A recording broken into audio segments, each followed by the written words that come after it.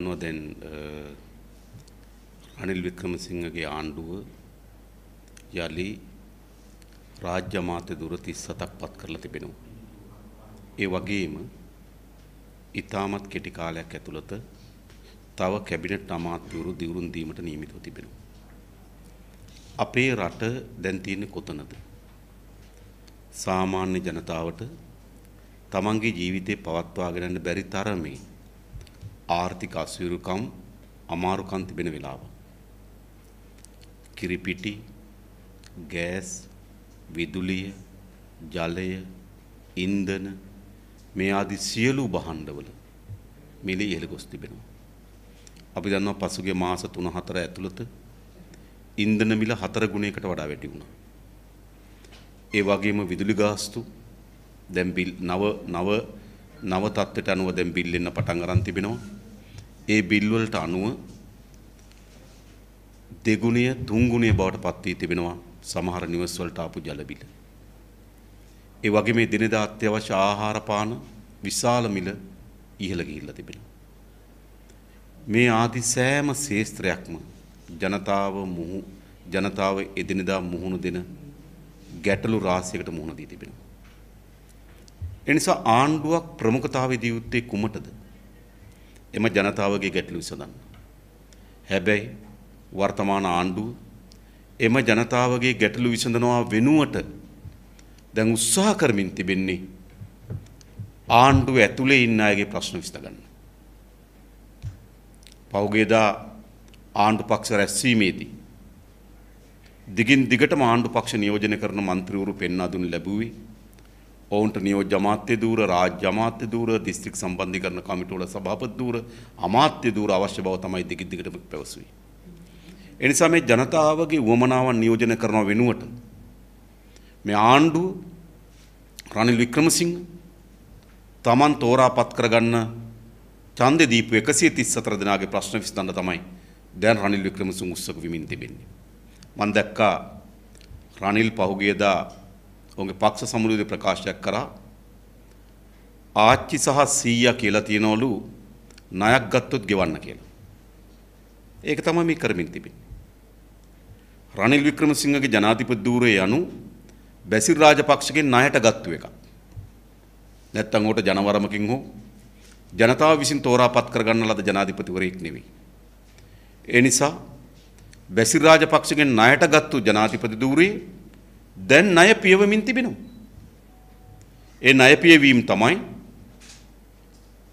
මේ වන විට පොහොට්ටුව නියෝජනය කරන മന്ത്രിවරු 29කට රාජ්‍ය අමාත්‍ය දුර ලබා දීලා තිබෙනවා. කැබිනට් අමාත්‍ය දුර වලට අමතරව.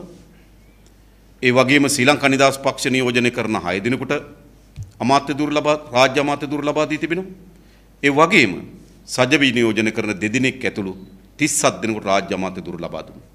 මේ රනිල් වික්‍රමසිංහ බැසිල්ගේ ණය පියවනවා.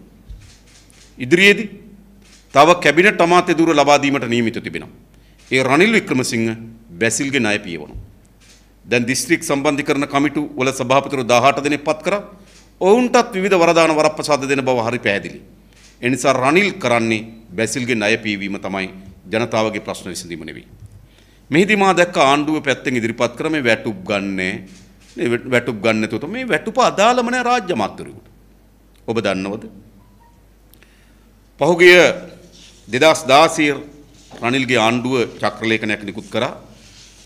ඒ චක්‍රලේඛනය තමයි 2016 අප්‍රේල් මාසේ 19 වෙනිදා ඒ චක්‍රලේඛන අනුව ගරු අමාත්‍යවරුන්ට ලබා දී ඇති ප්‍රතිපාදනයේ එලෙසින්ම ගරු රාජ්‍ය අමාත්‍යවරුන් සඳහාද වළංගු වනු අතර ඒ කියන්නේ කැබිනට් අමාත්‍යවරුන්ට ලබා දෙන වරදාන වරප්‍රසාද සියල්ල රාජ්‍ය අමාත්‍යවරුන්ට ලැබෙනවා. ඇත්තකට රාජ්‍ය අමාත්‍යවරුන්ට නොලැබෙන එකම දේ ඔහු කැබිනට් මණ්ඩලයට සහභාගී වන්නේ නැති එක විතරයි. ඔහු කැබිනට් මණ්ඩලයට පත්‍රිකාවක් ඉදිරිපත් කළ හැකි වන්නේ අදාළ අමාත්‍යවරයා හැර ඔහුට ඉදිරිපත් කරන්න බෑ. ද කැබිනට් මණ්ඩලයට සහභාගී වීම ඇරුණු කොට අනිත් සියල්ල මේ රාජ්‍ය අමාත්‍යවරුන්ට ලැබෙනවා. එහෙනම් මොනවද ලැබෙන්නේ? පළමු කොටම ඔබ දන්නවා මෙම රාජ්‍ය අමාත්‍යවරයෙක් සඳහා වාහන තුනක් ලැබෙනවා නිල වශයෙන්. මේ වාහන සඳහා පෙට්‍රල් වාහන එකක් සඳහා බස්නාහිර පළාතේ නම් බස්නාහිර පළාතෙන් පිටත පෙට්‍රල් වාහන එකක් සඳහා ලීටර 750ක් ලැබෙනවා මාසකට. බස්නාහිර පළාත ඇතුළත ලීටර 600ක් ලැබෙනවා. ඩීසල් වාහනයක් නම් බස්නාහිරෙන් පළාතෙන් පිටත ලීටර 600ක් ලැබෙනවා. ඩීසල් බස්නාහිර පළාත ඇතුළ නම් ලීටර් 300ක් ලැබෙනවා. කියන්නේ එක වාහනයකට. ඒතර වාහන තුනක් අපි පෙට්‍රල් වලින් ගණනය හෙද කරමු. එක වාහනයක් සඳහා පෙට්‍රල් ලීටර් 750ක් ලැබෙනවා. වාහන තුනම පෙට්‍රල් නම් 750 වැඩි කිරීම තුන 2250ක් ලීටර් ලැබෙනවා. ත්‍රිවිල් එකකට පවුලම ජීවත් වෙන්න ලීටර් 5ක් ලැබෙනවා. හැබැයි ඇමතිවරයෙකුට වාහන තුනක් වෙනුවෙන් මාසකට පෙට්‍රල් ලීටර 2250ක් ලැබෙනවා.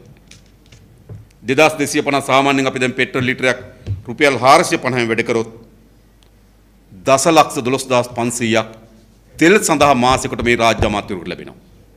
පෙට්‍රල් වාහන තුනක් පාවිච්චි කරනවා. ඔහු පාවිච්චි කරන්නේ ඩීසල් වාහන තුනක් නම් ඔහුට ලැබෙනවා ඩීසල් ලීටර් 1800ක් ලැබෙනවා.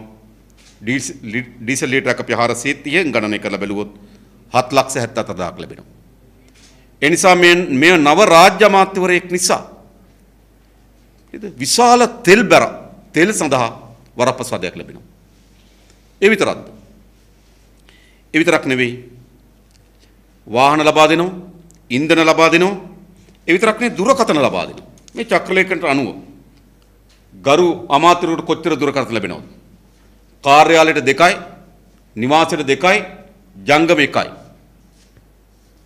ඒ කියන්නේ කාර්යාලයට දුරකථන දෙකක් ලැබෙනවා නියෝජ්‍ය අමාත්‍යවරයෙක්ගේ. මේ රාජ්‍ය අමාත්‍යවරයෙක්ගේ. නිවසට දුරකථන දෙකක් ලැබෙනවා. ජංගම දුරකථනයක් ලැබෙනවා. කොච්චර බිලක් ගෙවනවද? කාර්යාලයේ දෙක සඳහා රුපියල් 20000ක් ගෙවනවා. රාජකාරී නිවාස දුරකථනය සඳහා රුපියල් 10000ක් ගෙවනවා. ජංගම දුරකථනය සඳහා රුපියල් 10000ක් ගෙවනවා. රුපියල් 40000ක් ගෙවනවා මාසෙකට දුරකථන ගාස්තු. ඒ විතරක් නෙමෙයි ඒකේ සඳහන් කරලා මෙහිමයි. බලන්න. අමාත්‍යවරුන් හා රාජ්‍ය අමාත්‍යවරුන්ගේ දුරකථන වියදම් වල මාසික ස්ථාවර ගාස්තු හා බදු මුදල් හැර දැන් දුරකථන වල මාසික මාසික ස්ථාවර ගාස්තු වැඩි කරා නේද? ඒක ඇමතිවරුන්ගේ දුරකථනට බලපාන්නේ. ඒක හැර. දුරකථන වල බදු ගැහුවා නේද?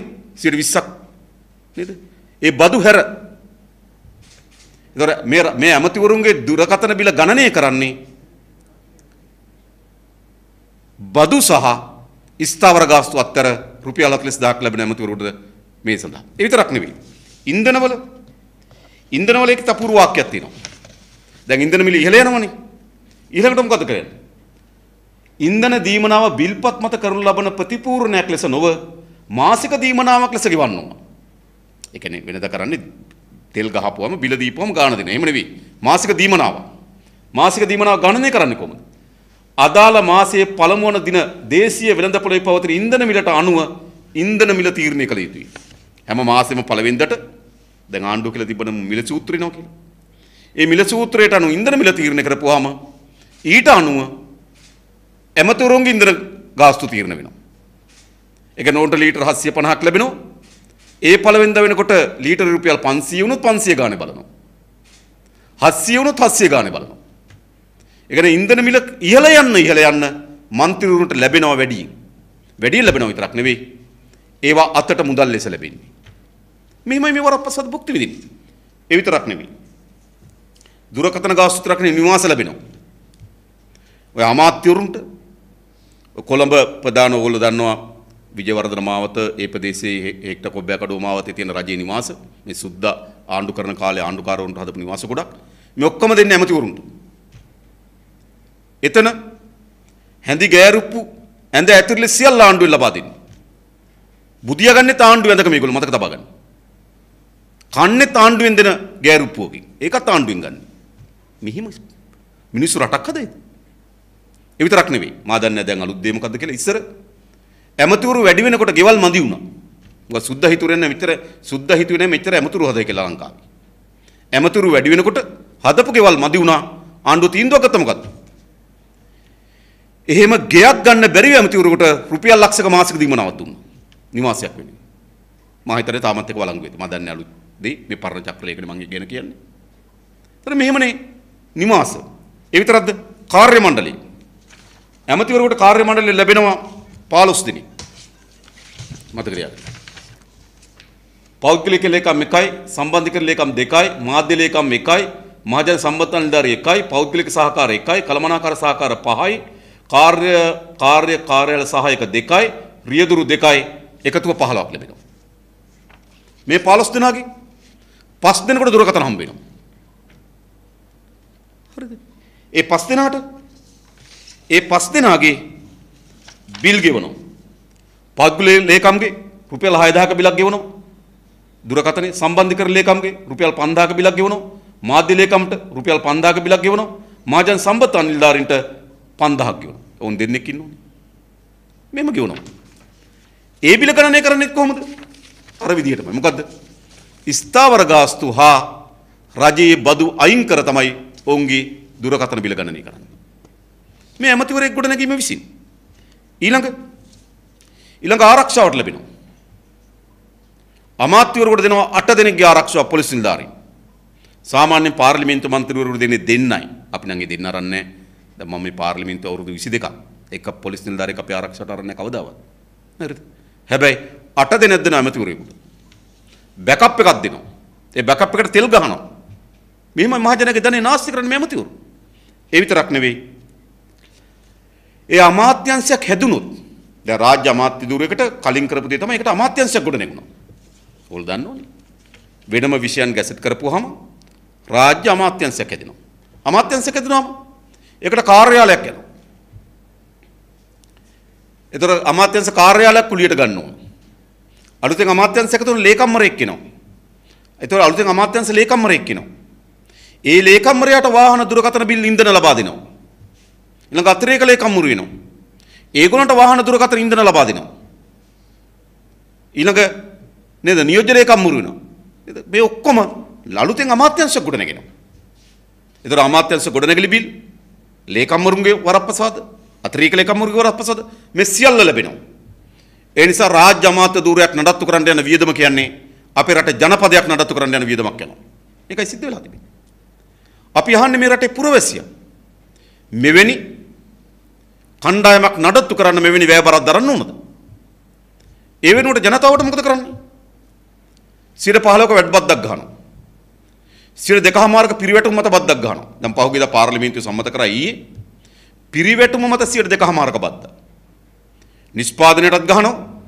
ඒ නිෂ්පාදනයේට බෙදාහරිනකොට ඒකටත් ගහනවා. බෙදාහරන බෙදාහරන ටික තොග රැස් කරොත් ඒකටත් ගහනවා. සිරර වෙනදා මේ දුනොත් ඒකටත් ගහනවා. වැල් බද්දක් ගහනවා මේගොල්ලෝ. ජනතාව මත අති අසීමිත ලෙස බරපටවඩ ගමන් ජනතාවගේ ධනයෙන් පරපුටු රැලක් නඩත්තු කරන්න වෙලා තිබෙනවා. මුන් පරපුටු රැලක් මහජනයාගේ ධනය කාබාසිනිය කරන මහජනයාගේ ධනයෙන් කෝටි ප්‍රකෝටි ගණන් වියදම් කරමින් තමන්ගේ සුඛ විහරණ සහිත ජීවිත ගත කරන පරපුටු කණ්ඩායමක් මේ පාර්ලිමේන්තුවේ මේ මේ ආණ්ඩුවේ මේ ඇමතිවරු නඩත්තු කරන්න සිද්ධ වෙලා තිබෙනවා. අපි අහන්නේ ඔබගේ මේ රටේ ජනතාව මේ වැයබර දෙරිය යුතුද? ඇමතිවරු එක්කනේ වාහන 3යි. කාර්ය මණ්ඩලය 15යි. නේද? ලීටර් පෙට්‍රල් ලීටර 750වත් තුනක් 2250ක දීමනම රුපියල් 40000 කාර්ය මණ්ඩල දීමන රුපියල් 45000ට වැඩි කාර්ය මණ්ඩල 15 දෙනෙකුට පඩි රුපියල් 40000ක දුරකථන දීමන කාර්ය මණ්ඩලයේ 5 දෙනෙකුට දුරකථන දීමන. ආණ්ඩුවේ ගෙවල් ඇඳවල් හැඳිගෑරෙප් ලයිට් බිල් වතුර බිල් මේ ඔක්කොම ආණ්ඩුවකින් දරන්න ඕන. අර සාමාන්‍යයෙන් ඉන්නවනේ නේද ගාන්ධි වල ඉන්න අර පිනට අරපු වස්සු ඒ වගේ. නේද? පින්තක ඔය වස්සු නිදහස් කරනකොට කවුරු හරි කෑමක් දෙනවනේ. එහෙම පිනට අරපු වහු කණ්ඩායමක් වගේ. මේ රැක ගන්න ඕන ජනතාව මේගොල්ලෝ. ඒ නිසා අපි මේ රටේ ජනතාවට කියන්නේ. අපේ මේ රටේ ආර්ථික ප්‍රපාතයට එළුවේ මෙන්න මේ දේශපාලන සංස්කෘතිය තමන් හැත ඇඳ තියෙන්නේ රනිල් වික්‍රමසිංහ මුදල් ඇමති එයාට හැඳ තියෙන්නේ රනිල් වික්‍රමසිංහ ජනාධිපති අටවගත්තු ජනාධිපති එයාට තමයි අමාත්‍යවරු නියෝජ්‍ය අමාත්‍යවරු පත් කිරීමේ බලය තිබෙන්නේ. දැන් මොකද කරන්නේ? ඒ අමාත්‍යවරු නියෝජ්‍ය අමාත්‍යවරු නේද? හැන්දෙන් නෙවෙයි ඇත්තකතු බැකෝ එකෙන් බෙදාගන්නේ. භාණ්ඩාගාරේ ධනෙ ජනතාවට කන් හැන්දෙන්වත් ලැබෙන්නේ නැහැ. ඒ නිසා මේ මහජනයාගේ ධනය කෝටි ප්‍රකෝටි ගණන් නාස්ති කරන මේ දේශපාලන සංස්කෘතිය වෙනස් කරන්න ඕනේ නැද්ද? මේ රටේ කවර පුරවැසියද අනුමත කරන්නේ? මෙවැනි විශාල ආර්ථික අර්බුදයක් තිබෙන වෙලාවක අමාත්‍යවරු වුණොත් රටේ ජනතාවගේ ප්‍රශ්නේ ඇමතිවරු නැතිකමද? රටේ ජනතාවගේ ප්‍රශ්නේ රාජ්‍ය අමාත්‍යවරු නැතිකමද? ජනතාවගේ ප්‍රශ්නේ ඛණ්ඩ නැතිකම ආහාර හිගේ ආහාර මිල ගණන් යාම රටේ ප්‍රශ්න ඩොලර් නැතිකම බාණ්ඩාගාරයට මුදල් නැතිකම රටේ ප්‍රශ්නේ හැබැයි ඒ ඔක්කොම පැත්තකින් තියලා මේගොල්ලෝ මේගොල්ලන්ගේ ප්‍රශ්න විසඳ ගන්න. විසඳකට රනිල් වික්‍රමසිංහ වේදිකාවට අවිලා කියන මොකද්ද? නෑ වියදම් කපන්න ඕන. නේද? රාජ්‍ය සේවය අඩු කරන්න ඕන. ඒගොල්ලන්ට උපරිම බෙදා ගන්න ගමන් ජනතාවට පහර දෙන්න ලෑස්තිලා තියෙන ආණ්ඩුවක් මේක. දීර්ඝ කාලයක් මේ රට අනුගමනය කර මේ දේශපාලන සංස්කෘතිය. ඒ නිසා මේ දේශපාලන සංස්කෘතිය වෙනස් කිරීම සඳහා මේ රටේ ජනතාව පෙළගැහෙන්න ඕන. මේ නාස්තිකාරී, විගඩම්කාරී, පරපොටු පිනට අරන ලද වස්ස වගේ යැපෙන මේ දේශපාලන සංස්කෘතිය වෙනස් කළ යුතුයි. අන්න ඒ සඳහා තවත් අත්දැකීම් අවශ්‍යනේ. ඇති තරම් මේ පාලකයන් අපිට අත්දැකීම් දීලා තියෙනවා, කරුණු දීලා තිබෙනවා. ඔවුන් මොන වගේ කණ්ඩායමක්ද? මොන වගේ ජනතාවගේ ජනතාවගේ මුදල් වලින් යැපෙන පරපුටු කණ්ඩායමක්ද කියන එක පිළිබඳව ඕනෑවටත් වඩා වැඩින් සාක්ෂි තියෙනවා. ඒ නිසා මේ දේශපාලන සංස්කෘතිය පෙළගස් වෙනස් කිරීම සඳහා මේ රටේ ජනතාවට පෙළ ගැහෙන්න කියලා අපි ආරාධනා කරනවා. ඊට අමතරව ඔබට මොනවාරි කරුණු තිබෙනවා නම් විමසන්න පුළුවනි. දැන් ඔබතුමා තනිකර කිව්වේ රාජ්‍ය අමාත්‍යවරු අවශ්‍යම නැහැ වගේ. අපි දැනගන්න කැමති එතකොට මේ රට ගෙනියන්න. දැන් ඔය කියන විදිහට රාජ්‍ය අමාත්‍යවරු අවශ්‍යම නැද්ද? අමාත්‍යවරු ඉන්න ඕන නම් ඒ කීයද? අපි තාමත් පැහැදිලිව අපේ ප්‍රතිපත්ති ප්‍රකාශන ඉදිරිපත් කළා තිබෙනවා. අමාත්‍ය දුර සංඛ්‍යාව 25කට නොවැඩිය යුතුයි. නියෝජ්‍ය අමාත්‍ය දුර ගොඩනැගිය යුතුයි. රාජ්‍ය අමාත්‍ය දුර වැනි එල්ලන ඒවා වැඩක් නැහැ. අපි 19 වෙනි සංශෝධනය හදන වෙලාවේදී අපි ගිහලා යෝජනාවක් බාර දුන්නා අමාත්‍ය දුර සහ නියෝජ්‍ය අමාත්‍ය දුර විතරයි. ඇමතිවරයා ඉන්නෝ ඔහුට සහාය දීම සඳහා නියෝජ්‍ය අමාත්‍යවරයෙක් ඉන්නවා. මේ රාජ්‍ය අමාත්‍යවරු කියන්නේ මොකක්ද? කැබිනට් බල කැබිනට් මණ්ඩලයේ තියෙන සියලු වරප්‍රසාද ලබා දෙනවා. ඒ වගේම විෂයනුත් ලබා දෙනවා. වෙනම අමාත්‍යංශිකුත් හදනවා. මේ මොකද මේ විවස්ථාවේ තියෙන ඇමතිවරු 30කට වඩා පත් කරන්න බෑ කියන්නේ. මේ ඇමතිවරු 30කට වඩා පත් කරන්න බෑ කියන වගන්තිය රිංගීම සඳහා තමයි මේ රාජ්‍ය අමාත්‍යවරු ඇටවීම සඳහා මේ සූදානම් කරන්නේ. ඉතින් රාජ්‍ය අමාත්‍යවරු අවශ්‍ය නැහැ. දෙක රට පාලනය කරන්න අමාත්‍යවරු අවශ්‍යයි. ඒක ඉතාමත් විද්‍යාත්මක පදනමකින් විෂයන් බෙදිය යුතුයි. ඒ විෂයන්ට නිපුණතාවය හැකියාව ඒ පිළිබඳ දැනුම තියෙන කණ්ඩායම් පත්විය යුතුයි. ඒ වගේම අමාත්‍යවරුන්ගේ වරප්‍රසාද ඉවත් විය යුතුයි. අපි යෝජනා කරලා තිබෙනවා. අපි කියන්නේ අමාත්‍යවරුන් තියෙන ගෙවල් අයින් කරන්න ඕන. අපි නම් ආණ්ඩු කරන්නේ අපි නම් අමාත්‍යවරුපත් කරන්නේ ওই තියෙන ගෙවල් ඔක්කොම ඒවා සුද්ධ හදපු පැරණි ඓතිහාසික පෞරාණික ගෙවල්. ඒවා හොඳ සංචාරක ව්‍යාපාර කේන්ද්‍ර බවට පත් කරනවා. සංචාර අධිකාර සංචාරක අධිකාරියට පවරලා ලෝකින්න ධන ධනේශ ධනපති සංචාරකයන්ගේ ගෙවල් වලට ගේනවා. එහෙමයි සම්පත් උපයෝග කරගන්න. මේ වාහන ඉතාමත් අඩු වාහනයක් දෙනවා ඇමතිවරයෙකුට. අඩු එකක් දෙනවා රජයෙන්. හරිද? ඒකට මෙච්චර තෙල් මේ පැයට කිලෝමීටර මොකද්ද මේ කිලෝමීටරයට දැන් ලීටරයට කිලෝමීටර 4 දුවන වාහන නෙවෙයි මම අමාත්‍යංශයට යනකොට මතක තියාගන්න. මගේ අමාත්‍යංශිත වෙඩි නොවදින කාර් එකක්. SB දිසානක පාවිච්චි කරේ මට කලින්. හරිද? ඒ වෙඩි නොවදින කාර් එකේ පෙට්‍රල් ලීටරයට කිලෝමීටර් 3යි දුවන්නේ. කාර් එකත් එක්ක පිටිපස්සේ බවුසරයකුත් තෙල් බවුසරයකුත් ගෙනියන්න ඕන. අපි ඒවා පාවිච්චි කරේනේ. මේ නිල වශයෙන් ලැබෙන ඒවා. නොනිල වශයෙන් කොච්චර ලැබෙනවද? ඔය තියෙන හැම අමාත්‍යංශයකටම අදාළ ආයතන වලින් වාහන ගෙන්න ගන්න ඇමතිවරයා. ගෙවල් වලට දරුවන්ට මෙහෙම වෙලා තිබෙනවා. අපි අපේ අමාත්‍යංශයේ තිබුණු වාහන වලින් වෙඩිනෝද රථ, බෙන්ස් රථ, ප්‍රාඩෝ ජීප් රථ 15කට වැඩි ප්‍රමාණයක් ඇමතිවරයාගේ වාහන මම ගිහලා ජනාධිපති ලේකම් කාර්යාලයට බාර දුන්නා. එහෙම අපි මේ රට පාලනය කරලා තියෙනවා. අපි පාවිච්චි කරේ කුඩා කැබ් රථය. අමාත්‍යංශයේ සමහර නිලධාරී මගේ වාහනයට වඩා ලොකු වාහන පාවිච්චි කරේ. මතකද බලන්න. හරිද? මේ රට දුප්පත් රටක්. පතුලට හිඳලා තියෙන රටක්. භාණ්ඩාගාරේ සතයක් නැහැ. නන්දලාල් කියන නේද? විදේශ සංචිත බිඳුවට හිඳිලා කියලා. එහෙම තියෙන රටක ඔබ දැක රනිල් වික්‍රමසිංහගේ ගෙදර ගිනි ගත්තා. ගිනි තිබ්බා. අපි එක් කනගාටු වෙනවා. හොඳ දෙයක් නෙවෙයි. ඒ වෙලාව වාහනයටත් හානි වුණා. අපරාධ පරීක්ෂණ දෙපාර්තමේන්තුව විසින් ම- කොළඹ මහේස්ත්‍රාත් වාර්තා කරා රනිල් වික්‍රමසිංහ නිවසට සහ වාහනයට සිදු වාහනිය මිලියන 205යි කියලා. මිලියන 205යි. මිලියන 205 මිලියන 191ක්. වාහනයට වාහනිය. ඒ කියන්නේ 200 මේ 191ක් සමානයි. මිලියන 205 මිලියන 191ක් වාහනයට උණු වාහනිය. ඒ කියන්නේ වාහනේ හානිය කීයද? 19 කෝටි 16 ලක්ෂයයි. එහෙම එහෙම න- නඩත්තු කරන රටක්ද මේක? රනිල් වික්‍රමසිංහ අගමැතිනකට වාහන දෙකක් ගෙනාවා. එක වාහනයක වටිනාකම ලක්ෂ 2998යි. මතද බලන්න.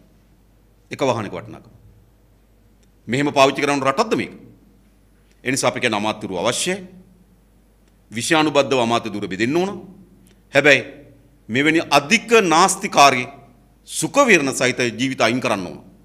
මේ රට ගොඩනගන්න අන්න එවැනි මැදිහත්වීමක් අවශ්‍ය කියන එක තමයි අපේ යෝජනාව. දැන් ඔබතුමා කිව්වොත් ඒක දැනුත් කිව්වා. ඔබතුමාලා හෙටත් කියයි. නමුත් ජනතාව මේක පිළිගන්න සූදානම්. දැන් කෝටි 200 ගා- දානම දානමයක් ගැන කතාවක් කිව්වා වාහනය. ජනතාව ඇයි මේක තරයේ පිළිගන්නේ? ජනතාව ලක්ෂ ගණන් ඇවිල්ලා පළව හැරි ඒකනේ. මතකද ජනතාව පාරට බැපු විදිය? හරිද?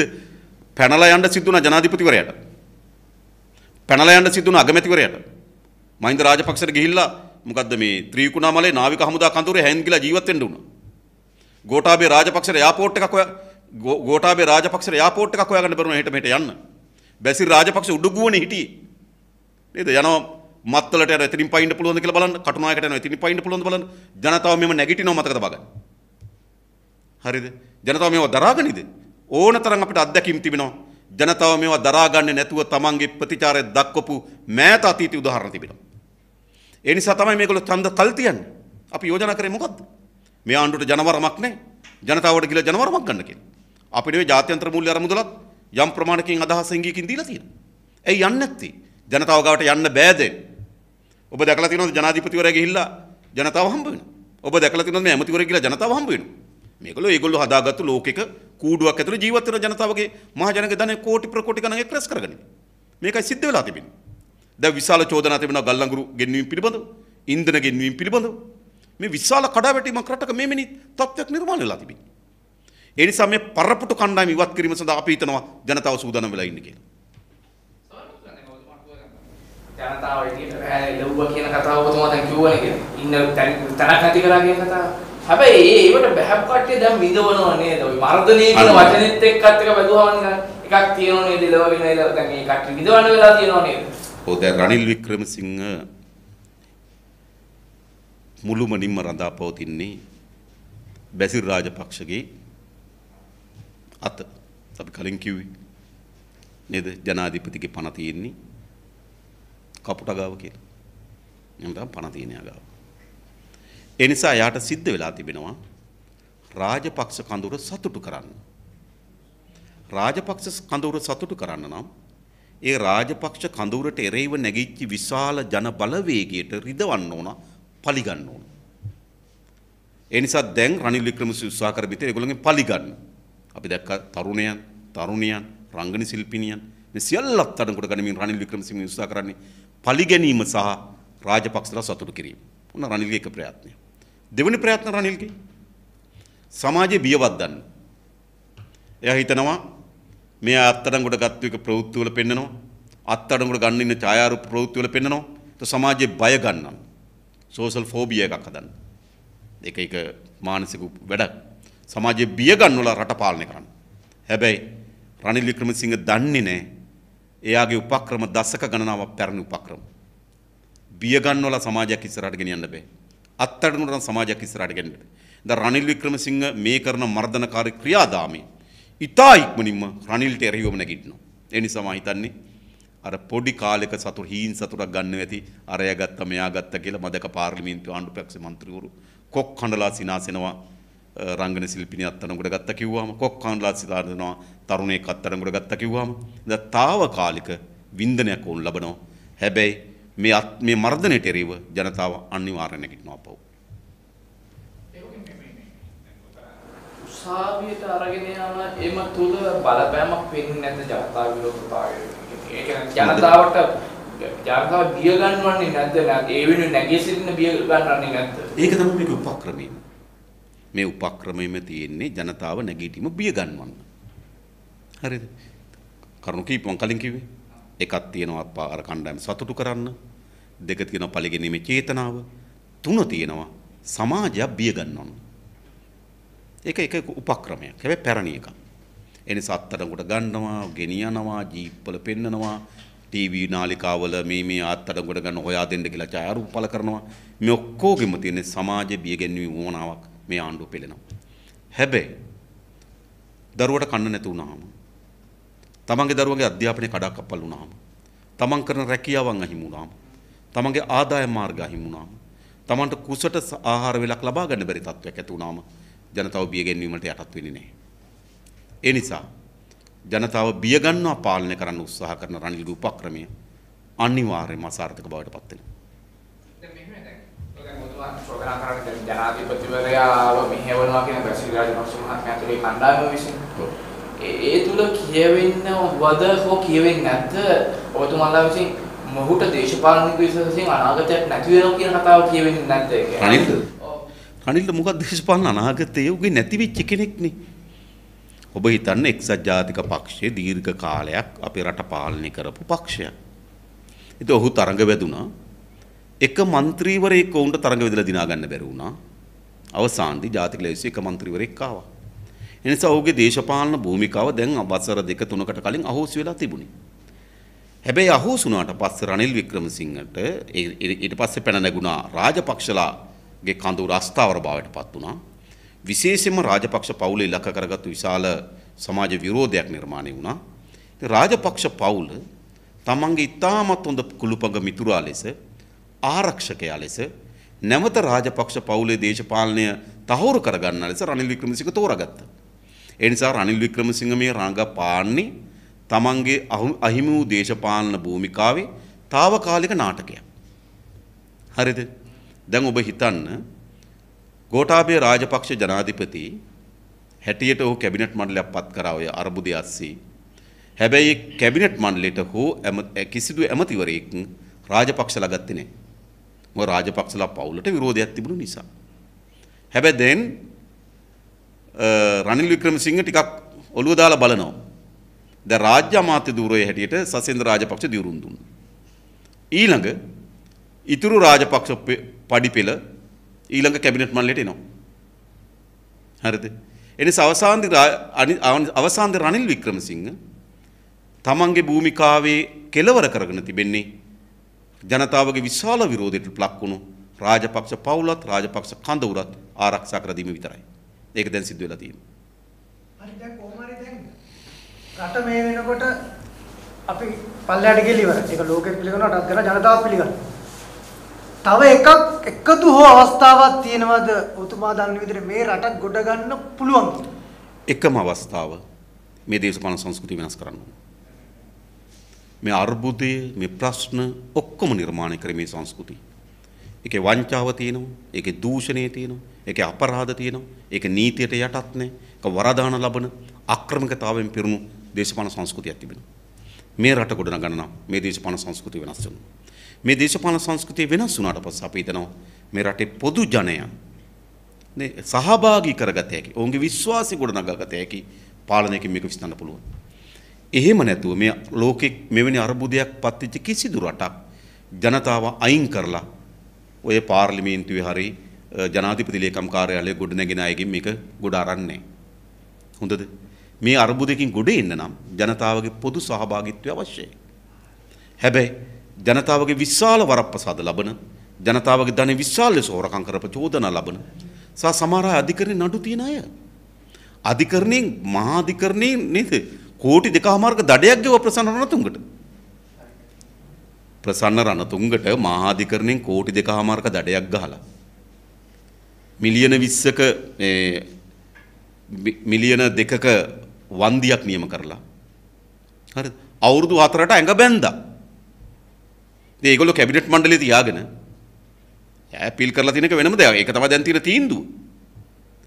හරිද? එයා කැබිනට් මණ්ඩලයේ තියාගෙන රට හදන්න කියලා ජනතාවට ආරාධනා කරන්න පුළුවන්ද? සහ මේ මේ මේ ලැයිස්තුව බලන් රාජ්‍ය මතුරු හිරගෙවල් වලට පැනපු අය, හරිද මිනිස්සුන්ට පහර දීපු අය, හරිද මහාධිකරණේ නඩු තියන අය, ඝාතන වලට චෝදනා ලැබුව අය. මෙවැනි කණ්ඩායමක්. ඒ නිසා මේ කණ්ඩායම ජනතාවගෙන් ඉවත් වුණු මාලිගාවක් ඇතුළේ ඉඳගෙන රට පාලනය කරන්න පුළුවන් කල්පනා කරන කණ්ඩායමක්. ඒ නිසා එවැනි දේශපාලන නායකත්ව මණ්ඩලයක් තියාගෙන මේ රට ගොඩ ගන්න බෑ. තව තවත් අර්බුදයට එනක වළක්වන්න බෑ. එහෙමනම් දැන් යන්න ඕනේ ඡන්දයකට. එතකොට ඡන්දයක් පේන තෙක් මානකවත් නැහැ. තිබ්බොත් ජනතාව ඔය පෙරලියට උත්තර දෙයිද ඔය? ඔව් ඒක ජනතාව අතේ තියෙන වැඩක්. ඡන්දයක් පේන තෙක් මානකවත් නැති. ඡන්දයක් විවස්ථානුකූලව පේන තෙක් මානක නැති එක ඇත්ත. හැබැයි විවස්ථානුකූල ගෝඨාභය රාජපක්ෂ තාම ජනාධිපති වෙන්නත් උනා. නෑ නෑ මෙහෙමයි. ඒ නිසා ඒ නිසා ඒ කියන්නේ විවස්ථානුකූල ගෝඨාභය තාම ජනාධිපති වෙන්න උනා. ඒතර විවස්ථාවට අනුව ඡන්දයක් දැම්වෙන්නෙත් නැහැ. හැබැයි අපි හිතනවා විවස්ථාවට අනුව ඡන්දයක් දැන් එන්නේ නැති වුණාට ඇතුළේ ඇතිවන දේශපාලන අර්බුදයත් ආර්ථික අර්බුදයත් හමුවේ අනිවාර්යෙන් ආණ්ඩුව පොළඹවනවා ආණ්ඩුවට සිදු වෙනවා ජනතාවගෙන් නව ජනවරමකට යන්න. ඒ වෙලාවේදී ජනතාව තීන්දුව පිළිගනි. මේක වෙනම දෙයක්. ඔබතුමා ව්‍යවස්ථානුකූලව ගෝඨාභය රාජපක්ෂ මහත්මයා දැන් ජනාධිපති වෙන්න ඕනේ කියලා. නේ, වි- ඔහු ජනාධිපති ධූරය ගත්තේ අවුරුදු 5කට. ඒ කියන්නේ විවස්ථාව. ඒතර කවුරු හරි කල්පනා කරනවා නම් ඒ වෙලාවේ මිනිස්සු බහිනකොට අනේ විවස්ථානුකූලව කොහොමද ජනාධිපති තව අවුරුදු 5කට කියලා හිටියනම් තාමත් ජනාධිපති ගෝඨනේ. ඒ හින්දා මොකද වුනේ ජනතාවගේ ජනතාව පාරට බැසීම හරහා ගෝඨාභය රාජපක්ෂ පළවෑරේ. ඒ වගේම මැතිවරණයක් සඳහා විවස්ථානුකූලව නේද? එක්ක පාර්ලිමේන්තු යෝජනා සම්මතයකින් පාර්ලිමේන්තු විසිරු හැර ගන්න ඕන. එක්ක අවුරුදු දෙකමාර පිරුණාට පස්සේ ජනාධිපතිවරයා විසිරු හරින්න ඕන. එක්ක පාර්ලිමේන්තුවට අවුරුදු පහ පිරුණාම විසිරු හැරෙන්න එක තමයි විවස්ථානුකූලව. හැබැයි ජනතාවගේ නැගිටීම් හරහා මහමැතිවරණයක් අ, දිනා ගැනීමේ අවස්ථාව තියෙනවා. ජනාධිපති ගෝඨාභය ගෙදර ඇරියා වගේ. ඒ නිසා මා හිතනවා අ, මේ තත්ත්ව ජනතාව වැඩිදුර ඉවසන්නේ නැති වේවි කියලා. විශේෂ දේශපාලන ව්‍යාපාරයකට අපි ජනතාව සංවිධානය කරනවා. මේ අපරාධයට අපේ දරුවන් ගොදුරු වෙන්න ඕනේ. මේ විනාශයට අපේ රටේ ජනතාව ගොදුරු වෙන්න ඕනේ නැහැ තවදුරටත්. ඒ නිසා අපේ පෙළඹීම් බවට පත් වෙන්නේ ඒ ජනතාව සංවිධානය කොට මේ පාලන කණ්ඩායම් මේ දේශපාලන සංස්කෘතිය වෙනස් කරන නව පාලන ගොඩනගා ගැනීම සඳහා. සාමාන්‍ය දැන් ඔබතුමා මේ දේශපාලන සංස්කෘතිය වෙනස් වෙන්න ඕන කියන කතාව ඔබතුමා කිව්වනේ. දැන් පහුගිය දවස්වල සර්වපාක්ෂික ආණ්ඩුව බිහි කරගමු කියලා හැමෝම එකතු වෙලා මේක කරමු කියලා ඔබතුමාලා පැත්ත කණ්ඩායමට ආරාධනා ආවා. දැන් ඉන්දියා කණ්ඩායම සභාවල් පිට ගන්න එන්නේ. දැන් මේ ආණ්ඩු පක්ෂයේ කණ්ඩායමක් සර්වපාක්ෂික කණ්ඩායම අතරේ අපේ වෙන සම- සභාවක් දොරකඩ පිට ගන්න කියලා. ඔබතුමාලා ඒව ප්‍රතික්ෂේප කරලා කරලා මේ මේ මේ නිකන් බොරු ටිකක් බණින්න එපා නිකන්. විශේෂයෙන්ම මොකද දැක්කා එකක් ඔය අපිට අගමැතිකම දෙන්න හැදුවා අපි ගත්තේ නැහැ කියලා. ඒක සම්පූර්ණ බොරු. හරිද? අපිට එහෙම දෙන්න යෝජනා කරේ නැහැ. අපි මැයි 11 වෙනිදා යෝජනාවක් බාර දුන්නා. අපි ලෑස්ති මෙරට බාර ගන්න. අපි කැමති ඇමති මණ්ඩලයක් මේ පාර්ලිමේන්තුව තෝරාපත් කරගන්න දෙනවනම් ඔබ හමුවෙත් අපි එක කිව්. මැයි 11. හැබැයි මැයි 13 තමයි රනිල් වික්‍රමසිංහ අගමැතිවරයෙක්ට පත් කරගන්නේ. ඒ නිසා මේ කණ්ඩායම් කවදාවත් අපිට දෙන්නේ නැහැ. මොකද ඒ වෙලාවේ රනිල් වික්‍රමසිංහ තෝරාගන්නේ මා කලින් කියපු කරුණු නිසා. අපි තෝරාගන්නේ නැහැ. ඊළඟ තමයි දැන් මොවුන් යෝජනා කරලා තිබෙනවා මොකද්ද? පාර්ලිමේන්තු නියෝජනය කරන ඔක්කොම පක්ෂ එකතු වෙලා ජාතික සභාවක් හදන්න කියලා. පක්ෂවල නායකයන්ගේ. ওই ජාතික සභාව පිළිබඳ යෝජනාව ඉදිරිපත් කරේ ශ්‍රී ලංකා නිදහස් පක්ෂය. මා දැක්කා රනිල් වික්‍රමසිංහ තැනින් තැන කියලා තිබුණා. ඒ ශ්‍රී ලංකා නිදහස් පක්ෂය ඉදිරිපත් කරන ලද ජාතික සභාව කියන සංකල්පයේ එකඟව ඔවුන් ජාතික සභාවක් පිහිටවනවා කියලා. හැබැයි ඒ ඉදිරිපත් කරපු ජාතික සභාවෙ මොකද්ද තිබුණේ? අමාත්‍ය මණ්ඩලයේ සීමා වීමක් වුන් දාලා තිබා 20කට. ඊට පස්සේ ඒ අමාත්‍යරු කවුද කියලා තීරණය කරන්නේ ජාතික සභාවෙන්. ඒ අමාත්‍යරුන්ට ලැබෙන විෂයන් තීරණය කරන්නේ ජාතික සභාවෙන්. මේක තමයි ජාතික සභාව ගොඩනගේ ප්‍රධාන ව- පදනම. හැබැයි දැන් මොකද වෙලා තියෙන්නේ? රනිල් 17ක් ඇමතුරු කලින් බාර දුන්නා. දැන් 37ක් රාජ්‍ය අමාත්‍යරු පත් කළා තිබෙනවා. ලබන සතියේ ස- තව ඇමතුරු ටිකක් දිවුරුම් දෙන්න නියමිතව තිබෙනවා. ඊට පස්සේ කියනවා ජාතික සභාවක් හදමු කියලා. ඒ නිසා මම හිතන්නේ දැන් ජාතික සභාව පිළිබඳ සංකල්පෙම ඉවරයි. මොකද ජාතික සභාව ආණ්ඩු ක්‍රියාවලියට වග කියනවා නම් ඒ ජාතික සභාව ඇතුලේ ආණ්ඩු ක්‍රියාවලියට මැදිහත් වෙන්න පුළුවන් ඉඩක් තියෙනවනේ. එහෙම නැහැ. ඔවුන් කැබිනට් මණ්ඩලයක් හදාගෙන ඔවුන් රාජ්‍ය අමාත්‍යවරු දුරද ඔවුන් උපදේශකරු දාගෙන දැන් රනිල් වික්‍රමසිංහ මහත්තයා උපදේශකරු 14ක්ද කොහෙද ඉන්නේ? හරිද? සාගල රත්නායක ආරක්ෂාව පිළිබඳ උපදේශ මම දන්නේ ආරක්ෂක කවුන්සිලයට සහභාගී වෙනවා. හරිද? ඒ කියන්නේ සිකියුරිටි කවුන්සිල් එකට යනවා යා. ඒතකොට ඒ ආරක්ෂාව පිළිබඳ උපදේශක, ව්‍යවස්ථාව පිළිබඳ උපදේශක කවුද? අකිල විරාජ්. නේ පරිසරය පිළිබඳ උපදේශක, ගෝලීය උෂ්ණත්ව වෙනස් වීම පිළිබඳ උපදේශක රුවන් විජේවර්ධන නේද? මේ ආදි උපදේශකරු විශාල ප්‍රමාණයක් 14ක් දකෝදපත් කරන් තිබෙනවා. හරිද? ඉතින් ඒ ඔක්කොම කරමින් කෙනම අපි ඔක්කොම එකතු වුණු ජාතික සභාවට කියලා යනවා. විහිළුනේ. ඒ නිසා මම හිතන ජාතික සභාව කියන සංකල්පයක් දැන් අහෝසි. ඒ නිසා කවුරු ඒ ඒ ඒ විගඩම් නාටක වලට අවුල් වුණත් අපි නම් අවුල් වෙන්නේ නැහැ. එන අලුත් අමාත්‍යවරු ගොඩක් එන්න තියෙන රිස්ක් එක තියෙනවා. විවස්ථාව අනුව 30කට යන්න පුළුවන්. දැන් 17යි පත් කළා තියෙන්නේ තව 13කට යනවා. තව 13ට යන්න පුළුවන්කම තිබෙනවා. තව අවශ්‍ය නම් පාර්ලිමේන්තු යෝජනා සම්මතයෙන් තව වැඩි කරගන්න පුළුවන්. ඒ නිසා රාජ්‍ය අමාත්‍යවරු තව විවස්ථාව අනුව රාජ්‍ය අමාත්‍යවරු 3කට හිස් තියෙනවා. 37යි 40ක් වෙන්න පුළුවන්. කැබිනට් අමාත්‍යවරු 13 17යි 13කට ඉඩ තියෙනවා. ඒ නිසා 13 ඉස්සරහට එනවා. දැන් ඔබට බලන්න පුළුවන් රාජ්‍ය අමාත්‍ය ධූර ගත්තු අයයි ඉන්න අමාත්‍ය ධූර ඉන්න අයයි අතර තව හිස් ගැප් එකක් තියෙන කට්ටියක් ඉන්නවා. ඒගොල්ලෝ දැන් කැබිනට් එකෙත් නෑ රාජ්‍ය අමාත්‍ය ධූරත් නෑ. හැබැයි ඒගොල්ලෝ නිකන් ජ්‍යෙෂ්ඨ ප්‍රබල ඒගොල්ලන්ගේ කණ්ඩායම. එහෙනම් ඒගොල්ලෝ කවුද? ඒගොල්ලෝ තියන් ඉන්නේ අමාත්‍ය ධූර වලට. හරිද? දැන් සීලක් කනිදාස් පක්ෂී කීප දෙනෙක් ගියා. මම හිතන්නේ ඒකේ දුමිදිත් සානායක මහත්මයාත් ඒ කඳවුරේ ඉන්නවා. හැබැයි ඔහුට රාජ්‍ය අමාත්‍ය ධූරයක් දුන්නේ නෑ. ඔහු තියන් ඉන්නේ කැබිනට් අමාත්‍ය ධූරෙට. මම දන්න විදිහට. ඒ වගේ තියෙන පොන් අපි දන්න දැන් අමාත්‍ය ධූර හොබවන රාජ්‍ය අමාත්‍ය ධූර ලබාගත්තු අතරමැද කණ්ඩායමක් ඉන්නවා. ඒ කණ්ඩායම තමයි කැබිනට් අමාත්‍යවරු බවට පත් වෙන්නේ. මේ අද පස්සේ කොඩිය අඩපු කරාද නැහැ. පක්ෂ කොටිය අපි අද කරන්නේ. කරන්නේ නම් කොහෙන්ද නැහැ. පාර්ලිමේන්තුවේ නම් පිටු දෙකක් දෙකක් ශබ්ද වුණා. උම පාර්ලිමේන්තුවට සහභාගී වෙන්නේ. කතාවක් කතන්දර කියන්නේ. ඈ? රජින කරන කන්තර පැතිර බලන්නේ පැතිර නැතුණා මේක කියන්නේ. තිබුණා. මම කොහොමද මාධ්‍ය වාර්තා කරලා තිබුණ ගොඩාක් ඉහළින් එක තමයි හොඳ ප්‍රෝදාන ප්‍රවෘත්ති ඇටියට. මම දැක වාර්තා කරලා තිබුණා. කොඩිය එහෙම අඩපු ජාතික කොඩිය පිළිබඳ නේද? මම දැක්ක අග්‍රාමාත්‍යවරු ප්‍රකාශ කළා තිබුණ ජාතික කොඩිය අඩකොළුම් කනන්න කියලා. මෙතන අපේ පක්ෂ කොඩිය තියෙන්නේ. පස්කොඩිය හැම ඔව්.